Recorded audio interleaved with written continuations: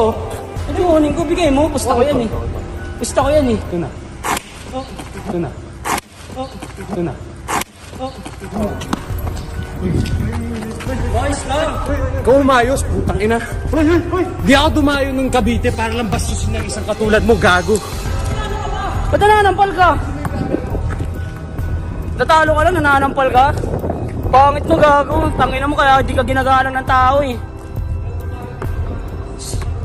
Wala. Wala ka. Wala ka. Mag-UFC ka na lang. Lumaban ta, ano, sipak tekraw.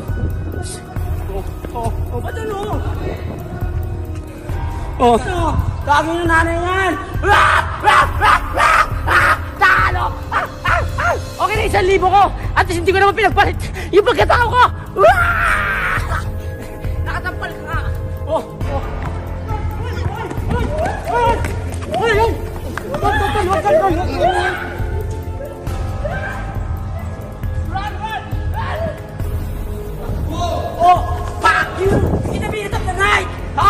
Oh, pauwi nyo na yan!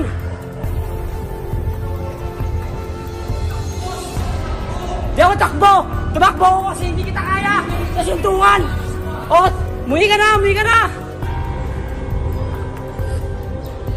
Pauwi nyo na yan! Pauwi nyo na yan! Pagod na yan! So yan nga mga, mga kabuhal. Utang na grabing Kiko Matos na yun. Natalo ko lang sa 1 tapos ganun yung ginawa sa akin. Sinampal niya ako. Utang ina. Ang pangit ang ugali niya. Kaya pala inis na inis sa kanya si Damsa. Sila um, sila Jonah. Tangina, ganun pala yung trabaho niya. Tangina, grabe, puking ina niya. Utang ina mo, Kiko Matos, ang pangit ang ugali mo. Nananampal ka. Ha? Tandaan nyo, marunong ako maisama. Pero kung gano'n naman yung ginawa sa akin, tangin na pangit yun. Sobra.